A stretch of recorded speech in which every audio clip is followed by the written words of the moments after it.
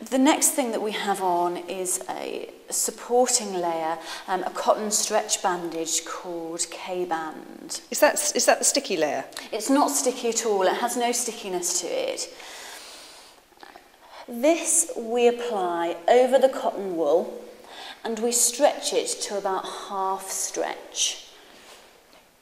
And just nicely, again halfway around. can be fairly firm with this. We're trying to create a nice, even bandage.